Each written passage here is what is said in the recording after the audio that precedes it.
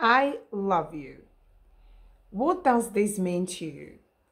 And I've read, I was reading or listening to conversations with God, and something really interesting made me think for whole morning, whole morning. I am still running in my thoughts. And you know, Neale is talking about thought behind the thought behind the thought, which is the original raw thought that drives your experience, your energy, because we want to expand, we want to experience. And if we want to experience and expand, then the first thought can either be love or fear. Now, are you thinking from love and from fear? He said a really good sentence. I'm going to read that. He said, In the moment you pledge your highest love, you greet your greatest fear. Let me repeat that. In the moment you pledge your highest love, you greet your greatest fear.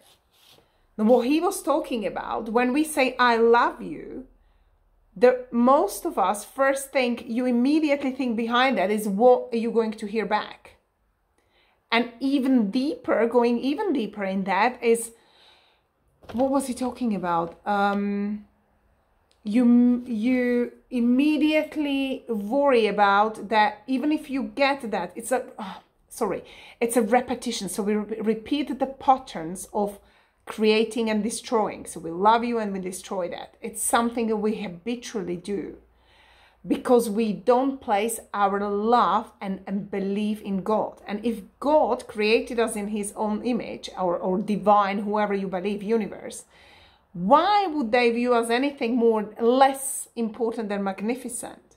And love can only create love. And if you come from fear, that's where the doubt and worry start kicking in. So if you say someone, I love you, I appreciate you, I'm so, you know, you mean it. You don't expect anything back. You say that because you're in a state of vibration where you are grateful and we kick in gratitude.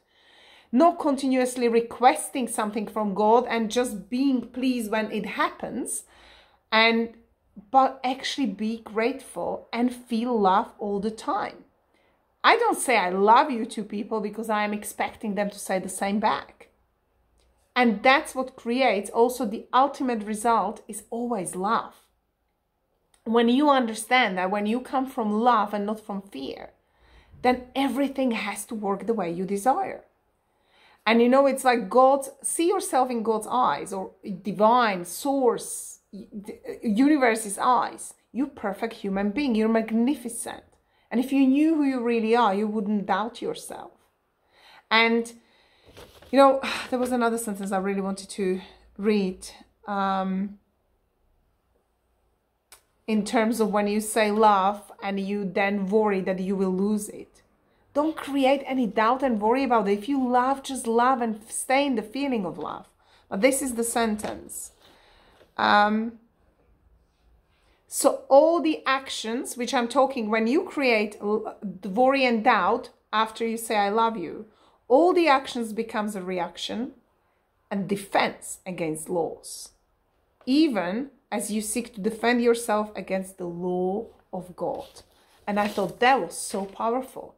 So say I love you, I appreciate you to people. Don't expect to hear anything back at all because you don't depend on this. You should be happy with who you are, even if somebody has a, else has a good opinion about you.